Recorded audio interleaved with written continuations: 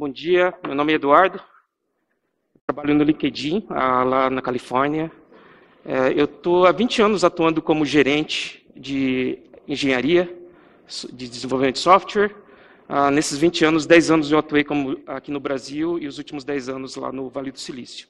Então eu vou, tentar nessa apresentação sumarizar tudo que eu observei que, de ideias interessantes em gestão lá, que eu não vi aqui. Pode ser que, obviamente, nesses últimos 10 anos já, já tenha sido adotado, mas pode, espero que algumas ideias aqui vocês pegam.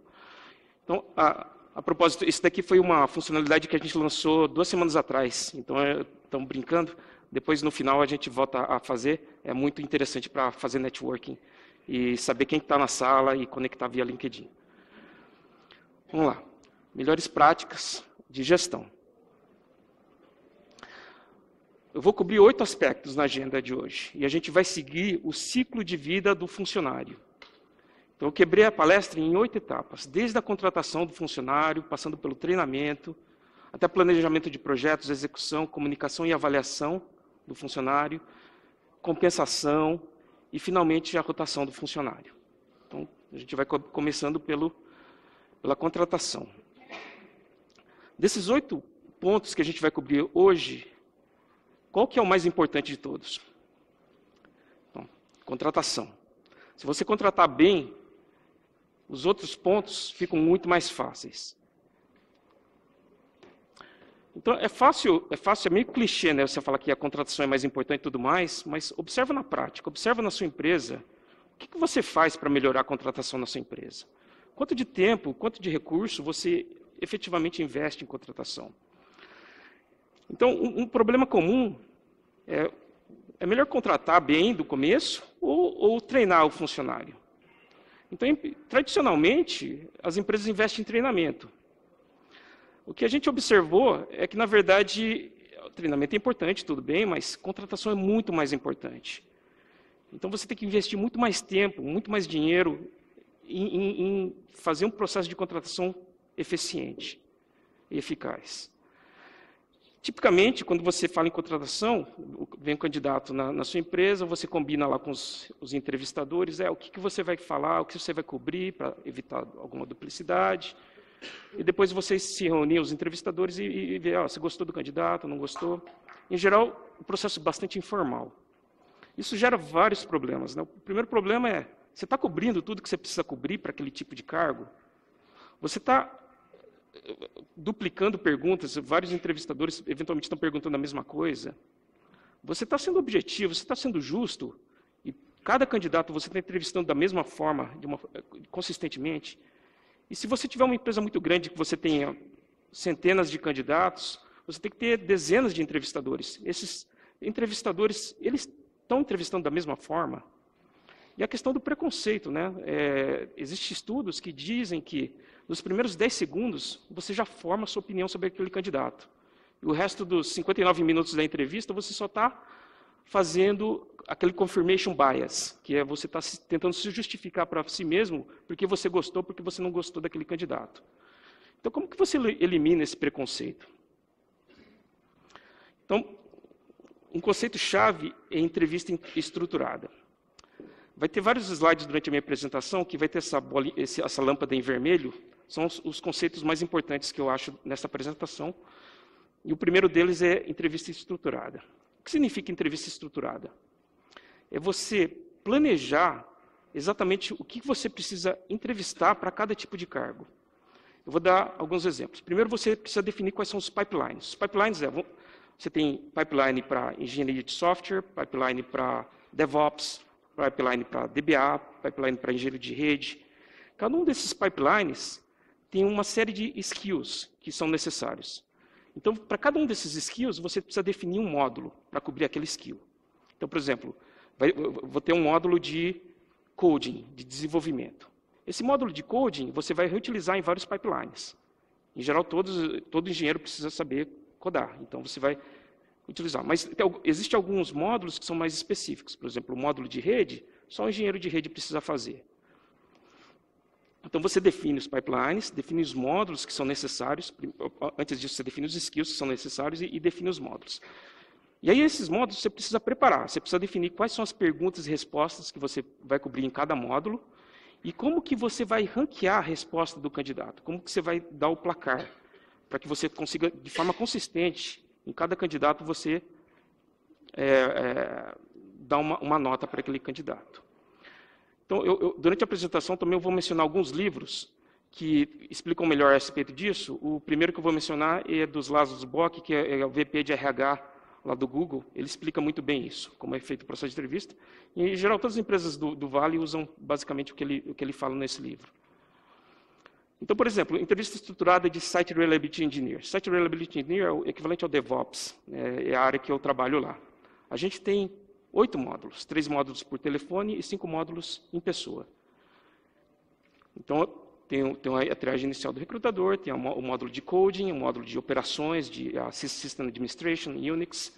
Em, em, em pessoa, a gente traz ele, se o candidato passar naqueles por telefone, a gente faz o módulo de arquitetura, o módulo de code novamente, um pouco mais complexo, módulo de troubleshooting, a System Administration, o módulo de comunicação, é importante que a pessoa sabe se comunicar, se expressar. Então tem um módulo especificamente para verificar se aquela pessoa consegue reportar um, um incidente de forma direta e sucinta. E tem o módulo de Host Manager. Esse módulo é o mais subjetivo de todos.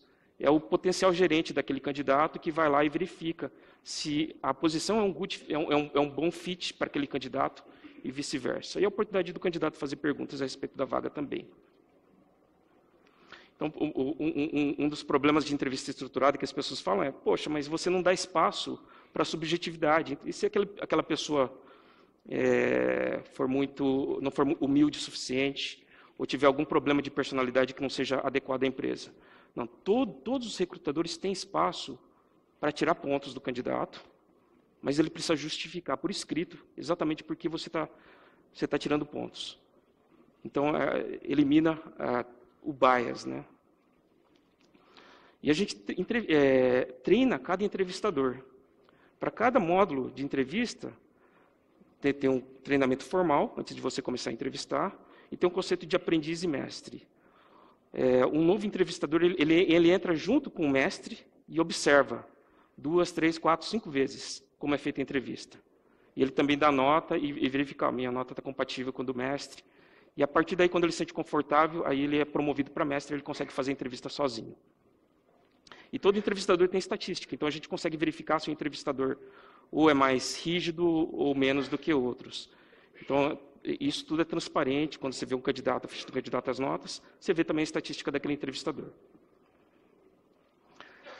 Feitas as entrevistas, o que acontece é uma reunião de debriefing. É um round table, cada entrevistador tem que explicar como avaliou o candidato, justificar a nota dele. E é, é legal que todo mundo verifica, ó, não, você notou isso no candidato, eu notei também, e, e, e confirma alguns aspectos de, fracos e fortes do candidato. E também discute sobre a personalidade do, do, candidato, se o nível de comunicação, o nível de interesse, isso é muito, muito importante, o candidato tem que estar super interessado na vaga. Porque um dos aspectos super importantes é motivação. Né? O cara está entrando porque ele quer trabalhar naquela empresa. Tem o um conceito de falso positivo e falso negativo. Falso positivo é quando você aceita o funcionário, mas o funcionário, o, o, o candidato aceita, mas o candidato não é muito bom. Ele está lá no borderline, está né? Tá quase passando e você aprova, ah, vamos dar uma chance. E isso gera um monte de problema, porque quando você aceita, você está investindo naquele candidato e demora três, quatro, cinco, seis meses para você se dar conta, a gente contratou errado, infelizmente vamos ter que desligar o cara. Então, é, é, é oneroso para a empresa, é oneroso para o candidato também. Então, a gente evita. Então, a gente prefere falso negativo. Então, na dúvida, não contrata.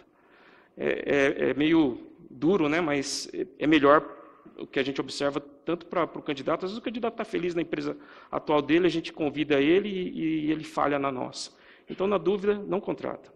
Então, o conceito de double blind, que é mais, mais para evitar o, o, preconceito. Então, é o conceito de que existe um outro grupo que não conversou com o candidato, não sabe o gênero do candidato, não sabe é, a idade do candidato, e só vê as anotações dos entrevistadores e toma uma decisão baseada naquilo. Então, isso ainda, aumenta ainda mais a proteção contra qualquer tipo de preconceito. Nem todas as empresas, na verdade, a única empresa que eu sei que usa Double Blind efetivamente é a Google. As outras empresas no Vale não, não usam, mas é uma ideia bem legal. Próximo item, treinamento.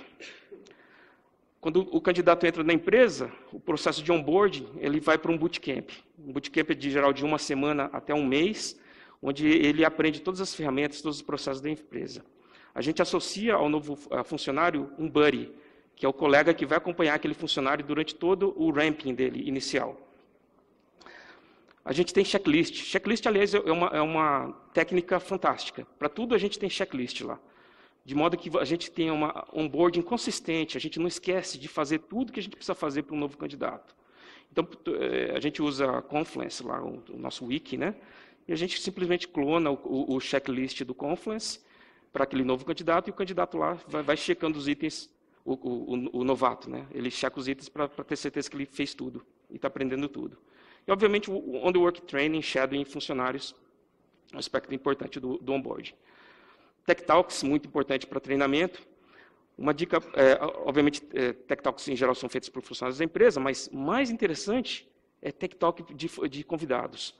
Então, como o Vale é pequenininho, as pessoas se conhecem, é muito comum você chamar pessoas de outra empresa, vir é, palestrar, vir trocar ideia informal. Isso, isso é uma coisa muito importante do, do, networking. Por isso, eu queria encorajar aqui vocês se conectarem e convidarem uns aos outros. Você, manja muito disso? Vem falar da sua experiência na sua empresa disso. Isso, isso é uma coisa que promove a polinização de informação entre as empresas. A gente tem reuniões formais de transferência de conhecimento e tem um joguinho que a gente chama de Wheel of Misfortune, que é um jogo de simulação. A gente pega um incidente que aconteceu, narra o incidente e pede para o cara, o que, que você faria para resolver esse incidente? Né? O, o, nome roda da Miss Fortune, porque a gente tem uma roda com o nome de todo mundo que está na, na, mesa, na, na sala de reunião, e aquela pessoa que for sorteada, ela tem que resolver o problema, e tentando simular o mais, mais próximo possível o incidente real. Outro conceito de treinamento é, é mentoring, mentoria. Né? Uma coisa importante da mentoria é definir exatamente o objetivo daquela mentoria. O que você quer tirar daquela mentoria? Você quer virar um melhor programador? Você quer aprender uh, machine learning? Ou você quer aprender uh, big data? Então você define bem específico e aí a gente sai procurando especialistas naquele tópico. E conecta os dois e os dois definem, como se fosse um projeto. Ó, você quer ficar bom em machine learning? Aqui, vamos definir quais são as etapas que você vai fazer, vamos definir prazos. E isso, isso é mentoria. Então, é muito importante a empresa ajudar a conectar os mentores aos aprendizes. Outra, outro conceito interessante é mentoring e coaching. Qual a diferença? Em geral, um mentor é um especialista e trata naquele, naquele assunto e, e vai ensinar o, o, aprendiz. O coach não. O coach não é especialista. O coach ele é bom em desafiar aquele funcionário a ficar melhor. Então ele dá sugestões, dá ideias amplas. Ele serve como uma, um feedback, um, um, para julgar, não julgar, mas dar ideias e, for, e desafiar o, o funcionário. Em geral, todo gerente é um coach dos seus funcionários, né? Vamos falar um pouco de planejamento. Agora, o cara já está pronto para produzir, que, que projetos ele vai tocar? Todo trimestre, a gente tem um exercício que a gente chama de definir os OKRs, que são os objetivos do trimestre. E tem três conceitos que a gente leva sempre em mente. Um é não espalhe muito. Então, é, é foque. Tenta, o que, que você vai fazer nesse, nesse trimestre? Em geral, uma, duas, no máximo três coisas naquele trimestre. É, a gente gera um, faz um brainstorm, gera uma lista de ideias, discute quais projetos são mais impactantes, quais são os mais fáceis e prioriza. E tenta escolher poucos. É, o mesmo conceito é One Thing, né? Tem um, um livro sobre isso. Fala, basicamente ele fala, ó, foca, toca uma, uma ou duas, no máximo três coisas né, naquele trimestre. E todos os objetivos são SMART, né? Aquele acrônimo de específico, mensurável, attainable, realístico e time bound. Então você, você verifica se o seu objetivo está bem definido. E como você faz para alinhar que seus objetivos estejam ah, alinhados com o resto da empresa? A gente tem todo, toda quinzena um all hands da empresa inteira, onde o CEO da nossa empresa fala exatamente quais são os objetivos da empresa, como a gente está indo na, naqueles objetivos e, e, e, quais são as novidades. Então, todo mundo na empresa inteira tem alinhamento. Mesma coisa no nível da organização, mesma coisa no nível do departamento, tem esses all hands que a gente força, todo mundo está alinhado. E a gente aí verifica, quando a gente faz o OKR a nível da equipe, está alinhado com o OKR da organização, do departamento, da empresa, e todos esses all-hands são gravados. Tem um conceito muito importante de transparência radical. Lá a gente assim mostra números, tem acesso a tudo. Isso ajuda muito a você entender a, a empresa e atender, a certificar que você está remando na mesma direção que a empresa. Outro conceito interessante é o offsite de planejamento. Então, todo começo de trimestre, a gente pega um dia só para discutir esses aspectos mais estratégicos. A gente prioriza, faz esse brainstorming e a gente aproveita para fazer team building. Então, tem alguns ah, modelos de team building interessantes, caso vocês queiram utilizar. Pesquisem sobre Five Dynamics ou Myers-Briggs, que são é, testes de personalidade, que ajudam você a entender ah, os funcionários da sua equipe e ajuda você a ter uma, ah, um relacionamento melhor com os funcionários da sua equipe. Tem um livro muito bacana, é, chamado As Cinco Disfunções de uma Equipe, que explica uh, e dá, dá essas sugestões desses offsites de planejamento. Ainda no planejamento, como é feita a tomada de decisão? Né? Como você escolhe quais os projetos? Em geral, independente do tamanho da empresa, todos seguem a cultura de startup. Então, a gente tenta sempre definir um, um mínimo viable product, o mínimo necessário para testar aquela ideia. Se a ideia não funcionar, descarta a ideia rapidamente e sempre faz A-B testing. Né? A gente verifica se aquela ideia está sendo melhor do que a ideia anterior. E dogfooding. Né? Dogfooding é, é você testar aquela, aquele projeto, aquela ideia com os funcionários primeiro. Então, todo mundo, por exemplo, no LinkedIn lá, todo mundo utiliza as features que estão para ser lançadas, meses antes delas serem lançadas. E o truque disso funcionar bem é isso ser integrado na plataforma. Então, é, todo desenvolvedor está usando aquela plataforma, ele vai ganhar de graça A-B testing e dogfooding porque está na plataforma. E outro aspecto é a autonomia. Cada, cada equipe tem uh, bastante espaço para decidir o que priorizar. Então, nesse conceito de tomada de decisão, tem esse conceito-chave de HIPPO versus Data. Só por curiosidade, alguém já ouviu falar nesse conceito de HIPPO? Ah, legal, alguns de vocês. HIPPO é acrônimo para Highest Paid Person Opinion. Então, são, são vocês, né? são os, os, diretores, são os gerentes, os VPs da empresa. Em geral, na, na tomada de decisão, essas pessoas têm a opinião deles e acabam levando a, na to, a tomada de decisão o que, que vai fazer. Isso é muito arriscado, porque é apenas a opinião daquele cara, que não necessariamente é um especialista naquilo. Então, é, tem uma, uma, uma, coisa que a gente faz lá, se você tem dados, você leva. Então, quem, quem traz dado, ele toma precedência por qualquer opinião de qualquer pessoa. E os executivos lá no Vale, em geral, são bastante humildes a respeito disso. Eles não levam a opinião deles muito a sério. É apenas uma opinião. Então, em geral, a gente força todo mundo a trazer dados para tomar decisão baseado em dados. Um livro que explica muito bem isso, esse Machine Platform Crowd, que fala desse conceito de Ripple. Ok, planejou, vamos começar a executar o projeto. Execu execução, hum, provavelmente isso é a parte mais coberta e todos vocês já conhecem, né? Usa o método ágil, né? Sprint, é, usa Scrum ou Kanban, faz os seus sprints quinzenais, faz os stand-ups diários, faz a retrospectiva. Nenhuma surpresa aqui, todo mundo segue isso daqui. É muito importante, uh, apesar de eu eh, ser conhecido, por favor, eu, eu vejo empresas que ainda não usam esses métodos ágeis, eles fazem toda a diferença. É super importante. Esse livro aqui explica bastante sobre isso, Lean Startup. E uma coisa que eu observei lá no Vale, o, o papel de Technical Program Manager, o TPM. Então, quando a gente faz o, a, a, sprint, tem, além da equipe, tem três atores na, na sprint. Tem o gerente do, da equipe, tem o PO, que é o Product Owner, o, o cara do produto, e tem o TPM. O TPM ele é especialista nesses métodos ágeis. Então, em, em, geral, o gerente daquela equipe é um cara que subiu no ranking, era um engenheiro, mas ele não necessariamente é um bom TPM. Ele não necessariamente sabe tocar. Então, o, é, é, comum você, o, o, gerente da equipe tomar o papel do TPM, até tomar o papel do Product Owner. Mas, quando você começa a crescer e você quiser ter consistência, é importante ter especialistas ah, naquele papel. E o TPM faz tudo isso para a gente. E ele, ele dá aquele gás, dá aquela, traz aquela energia para a equipe que só um TPM sabe. Então, eu recomendo muito vocês considerarem e, e, não depender do gerente da equipe fazer todo esse papel que o TPM faz. Vamos falar agora um pouco de comunicação dos projetos. Então, nenhuma surpresa novamente. Tem vários canais, e-mail, instant message, a gente usa Slack lá. Uma coisa muito legal é a gente tem canal para tudo. Tem canal da equipe, tem canal dos projetos, tem canais privados, por exemplo, né, das equipes, além dos canais públicos das equipes, tem os canais privados das equipes, de modo que a, a equipe pode, pode, pode, conversar internamente sem uh, ter medo né, de falar qualquer bobagem.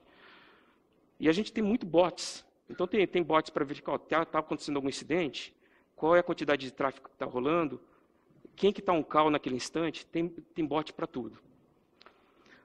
É, obviamente, para reuniões, importantíssimos para comunicação. Eu vou falar um pouco de todos esses tipos de reuniões. Mas a mensagem central aqui é over-communicate. Então, é, é, é, é, incrível como, por mais que você mande mensagem, que você acha que você está comunicando, tem sempre gente que não presta atenção. Né? Então, você ser redundante é bom. Então, manda mensagem, fala no Slack, fala na, na, nas reuniões. Quanto mais você comunica, mais você garante que está todo mundo alinhado. Mas um, assunto bastante controverso é a reunião. Né? Tem gente que odeia reunião. O que, que a gente pode fazer a respeito de reunião? Né? Então, tem alguns conceitos chaves de reunião. Primeiro, maker schedule e manager schedule. Quantas pessoas daqui conhecem esse conceito? Legal. Esse, esse é um, um, blog post antigo, de 2009, de um, de um, investidor chamado Paul Graham. É uma leitura de cinco minutos. Pesquisem Maker Schedule na, no Google, vocês vão achar. E ele fala o seguinte: o desenvolvedor ele opera, opera num calendário diferente do gerente. O gerente ele opera no calendário de que a cada uma hora ou a cada meia hora ele pula de reunião em reunião. Tranquilo. O desenvolvedor não. O desenvolvedor, se você colocar uma reunião dele bem posicionada lá no meio da tarde, às três horas da tarde, você estragou a tarde daquele desenvolvedor. Porque ele vai ter que lembrar daquela reunião, vai fazer parar para aquela reunião, depois retomar e lembrar o que ele está fazendo. Fora que você já desmotiva o cara, né? ele vai ter que falar, pô, eu tinha uma, a tarde inteira livre para desenvolver, agora tem que lembrar de fazer essa reunião no meio da tarde. Então, a, a dica aqui é, como gerente, você ter bastante atenção nisso. Em vez de jogar, você, você vê uma tarde livre do seu funcionário, ah, legal, ele está livre, vamos botar uma reunião lá no meio da tarde dele. Não faça isso, né? Coloque a reunião no começo do dia ou no final do dia. E se você tiver várias reuniões na semana, tenta botar as reuniões tudo no, no mesmo dia da semana. Não espalhe as reuniões durante a semana, porque você vai quebrar a produtividade daquele desenvolvedor. Outra, outra dica é combinar reuniões. Então, tem algumas reuniões que você pode botar back-to-back, -back, né, uma atrás da outra, e aí você evita que é, todo o context switching fica num cantinho do dia, e o resto do dia ele tem para ser produtivo e não ter esse context switching. Outro conceito-chave de reunião é separar assuntos táticos de assuntos técnicos, estratégicos. O que é uma reunião tática? Então, sprint planning é uma reunião tática, uma daily stand-up é uma reunião tática, que são assuntos bem, bem estruturados. Você não, não pode fugir muito daquilo.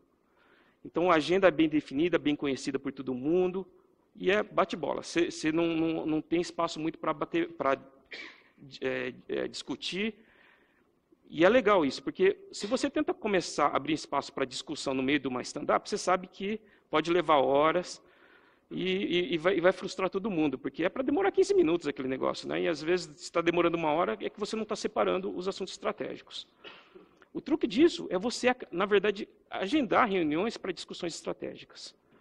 Então, é, eu sei que muita gente não gosta de reunião, mas esse livro aqui, Death by Meetings, ele fala justamente isso. A solução, na verdade, não é ter menos reunião, é ter reuniões mais, espalh mais é, espalhadas, a, a, tática da estratégica. Então, quando você tem espaço para discutir assuntos estratégicos, aí você não atrapalha as reuniões táticas.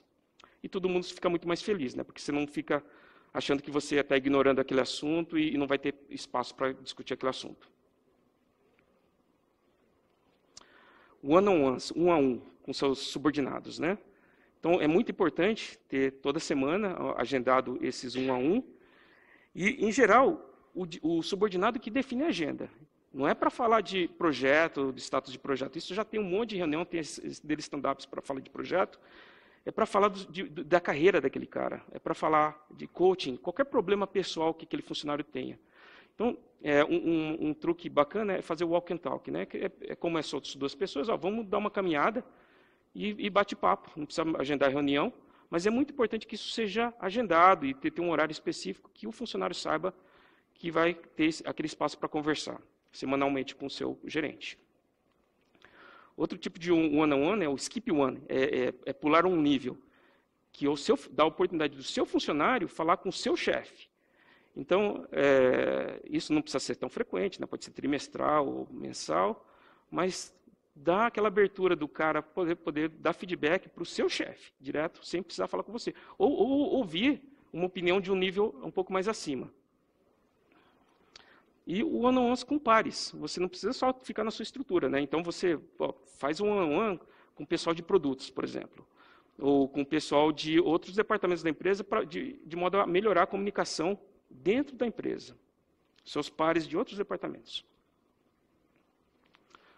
Ok, terminamos o projeto, agora a gente precisa avaliar os funcionários. Como que a gente faz a gerenciamento de performance? Duas vezes por ano a gente para tudo e que, o funcionário tem que escrever como que ele performou naquele semestre. Tem que pedir a três a cinco colegas para darem feedback a, a respeito dele e o gerente também tem que escrever a performance daquele candidato, daquele funcionário. E a gente avalia a performance em dois aspectos. Né? Tem a questão de performance em si e a questão do, do potencial daquele funcionário. E a gente dá nota e tem que justificar por que está dando aquela nota. E um, de forma a garantir que a gente tenha consistência e justiça, a gente tem um documento que a gente chama de CPP, Career Performance Profile, que indica exatamente qual a expectativa de cada nível de senioridade, de cada cargo. Então, por exemplo, desenvolvimento de software, tem lá o que é esperado de um desenvolvedor software sênior, o que é esperado de um desenvolvedor software júnior, e, e, e nessas, nessas três dimensões, em liderança, execução e qualidade. E aí você pode comparar de forma consistente na empresa inteira, exatamente, esse cara está excedendo expectativas no nível dele, porque ele está fazendo mais do que está escrito aqui para esse aspecto. Durante a avaliação de performance, um conceito-chave é calibração. Como é que você garante que a empresa inteira está avaliando os funcionários de uma forma consistente, calibrando. Então, depois de ter feito todas as, as a, avaliações por escrito, os gerentes têm que se reunir e têm que justificar por que ele está avaliando aquela pessoa daquela forma. E aí os outros gerentes criticam e verificam, não, poxa, você está sendo mais rígido do que eu, ou você está sendo mais é, menos rígido do que eu, né? E, e por que você está fazendo isso, né? Por que você não está seguindo o CPP? Então isso torna uma coisa muito mais é, transparente e, e todo mundo é forçado a seguir a risca aquele CPP. Outro, outra forma de você assegurar a justiça né, na avaliação é ter comitês de promoção. Em geral, um comitê de promoção é formado por pessoas dois, três níveis acima daquele, e ela vai receber aquele pacote de promoção que o gerente escreveu, e vai ler e verificar, oh, não, esse cara realmente está pronto para ser promovido, ou não. Então, não, é, não, cabe ao gerente, o gerente não tem a, a última palavra para promover aquele candidato. Em geral, isso é usado em níveis mais a, a, avançados. Né? Então, é, é, isso é super importante, porque se você dá a impressão que não existe meritocracia na empresa, a, motivação cai. Né? Então, você tem que ser bastante transparente. Inclusive, esses pacotes de promoção, a gente torna público. Então, se a gente está promovendo alguém, de, de, depois que a gente promoveu, a gente bota o pacote de promoção na nossa intranet e todo mundo pode ver por, por que promoveu aquele cara, né? Então, é, torna uma coisa bastante meritocrática.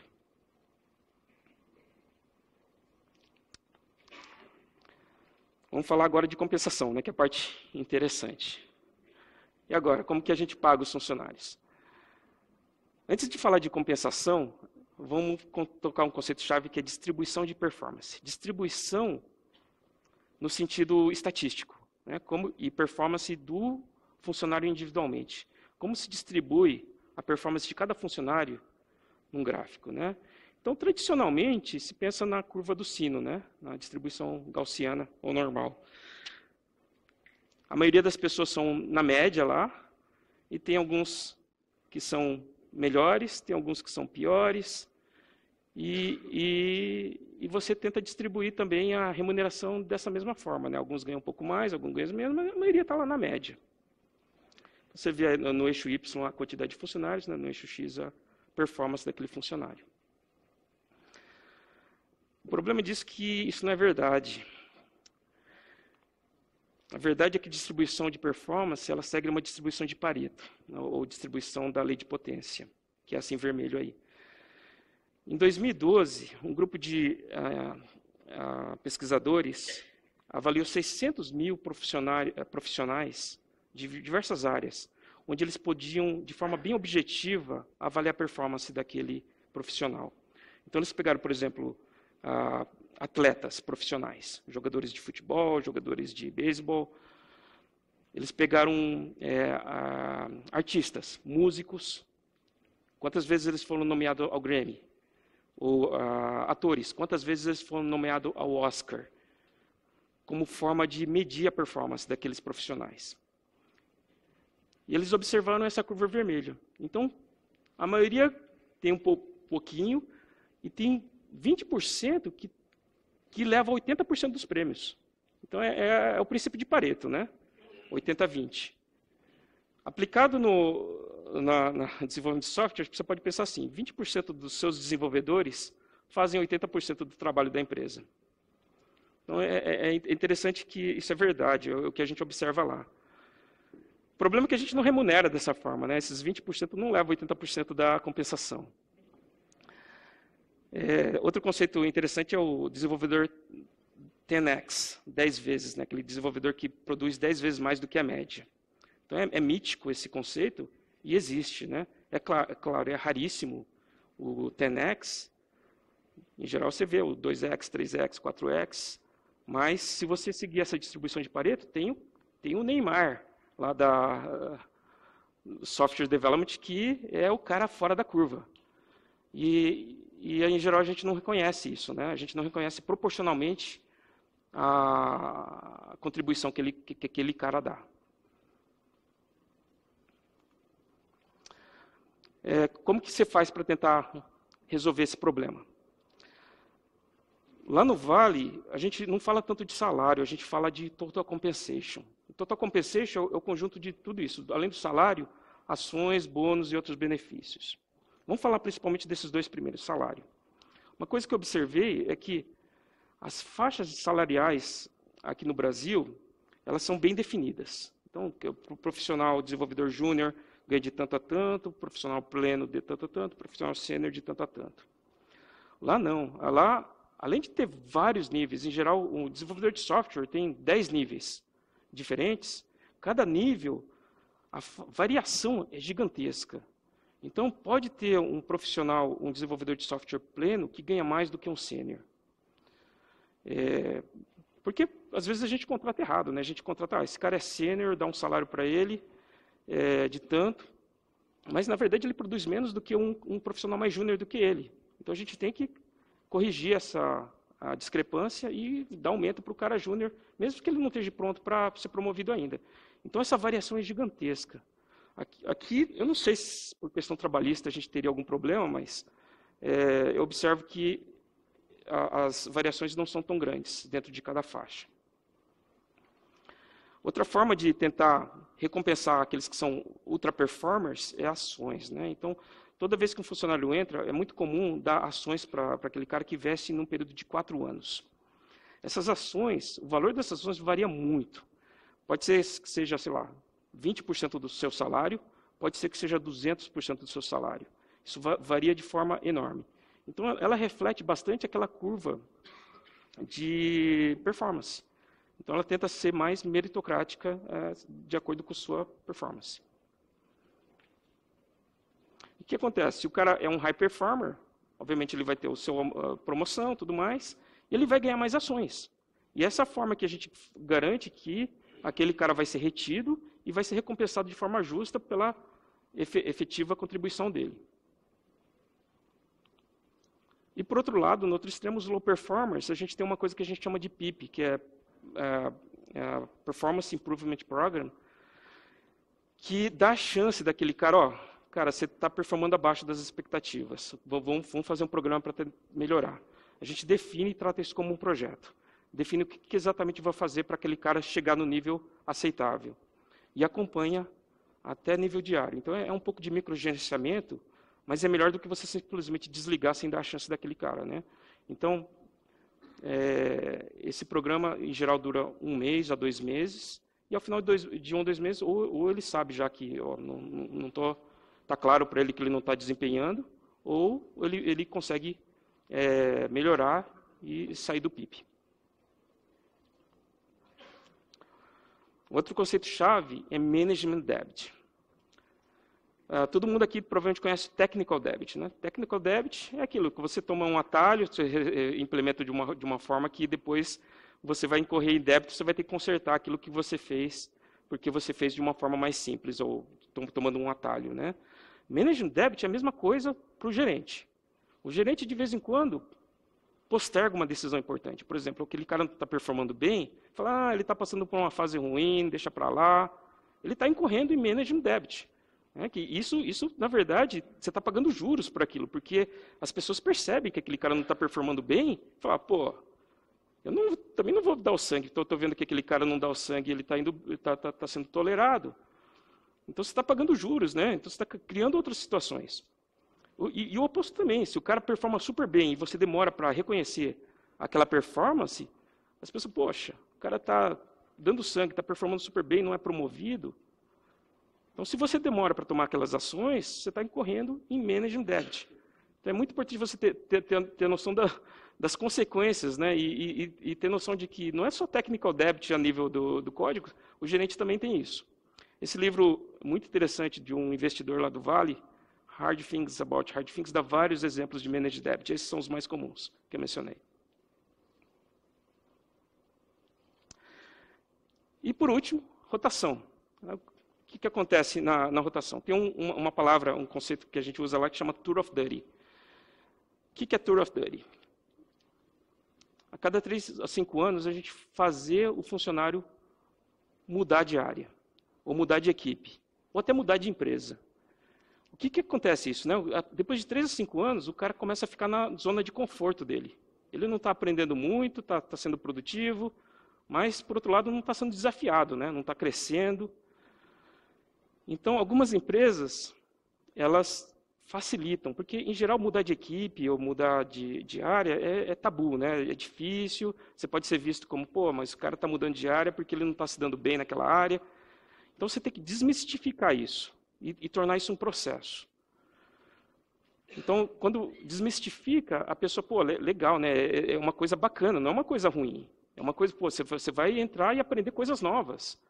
Pode ser uma área completamente diferente da sua, não precisa nem ser engenharia de software. E, e até mudar de empresa é legal, porque você vai aprender outros conceitos da empresa. Como o vale lá é muito pequeno, a polinização entre as empresas, dado esse conceito, é, acontece muito forte. Ah, outra coisa interessante é que o conceito de remuneração, de compensação lá no Vale, ele força todo mundo a fazer isso, porque eles, eles dão ações que vestem em quatro anos. Se você não está performando muito bem, ao final de quatro anos, você não tem mais ações.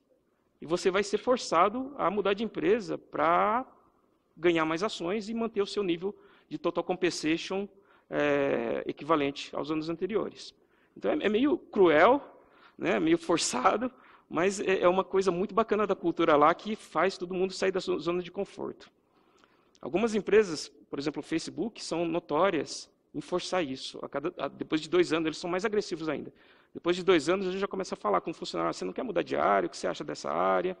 Depois de três anos, eles já empurram. Ó, se o cara não tomar atitude por si só, eles falam: ó, achei um lugar legal para você aqui, vamos mudar para você para essa outra área. Tá. Tem esse livro aqui, do Reid Hoffman, que é o fundador do LinkedIn, que fala muito bem sobre esse Tour of Duty e essa rotação. E é isso aí, pessoal. É, é, é o, o, que tinha que falar. Eu, eu sumarizei aqui os conceitos chaves dos oito pontos que a gente cobriu. E espero que um desses conceitos chaves você consiga adotar na sua empresa. Obrigado.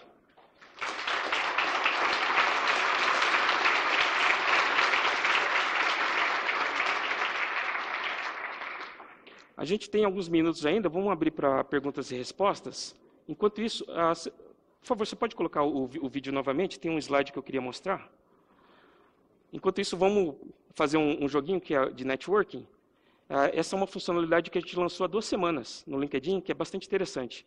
Ah, é opcional, obviamente, mas você consegue ver todo mundo que está aqui na sala e conectar. Então, quem, tiver, quem, quem aparecer por lá, eu vou conectar. Então, novamente, uma, uma, das coisas bacanas da cultura do Vale é você fazer networking e, e, fazer essa polinização cruzada, né? pedir opinião de outras empresas, convidar agentes de outras empresas para vir falar na sua empresa. Isso só é possível com, com networking. Né? Então, segue esse processo aqui e a gente pode se conectar e você se conectar entre você. Entre vocês. E uma, uma coisa muito legal também é você ver, pô, tem um cara conhecido aqui na, na sala que eu já sou conectado, então, vamos, enquanto vocês podem usar isso, vamos entrar para a área de perguntas.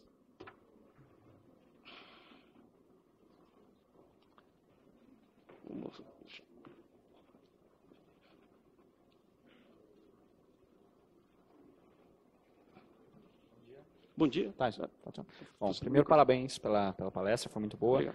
Ah, queria que você, se você puder comentar um pouco, em uma empresa que está em uma fase de crescimento é, bem grande, a gente tem todos esses ideais, mas ainda não tem todos esses processos. O que, que você considera desse fluxo inteiro o primeiro que a gente teria que atacar para trabalhar e o que, que é o MVP de todo esse fluxo que você fez para começar a trabalhar isso, porque é impossível a gente aplicar isso do dia para a noite. Né? Como é que é esse processo de construção de uma cultura assim? Legal. Olha, de longe o primeiro é contratação. Se você não tem um processo de estrutura, eh, de entrevista estruturada, bem definida, eu sugiro você atacar nisso. Porque quanto melhor a qualidade dos profissionais que você trazer, todo o resto resolve sozinho. Então, é, contratação, número um, de longe.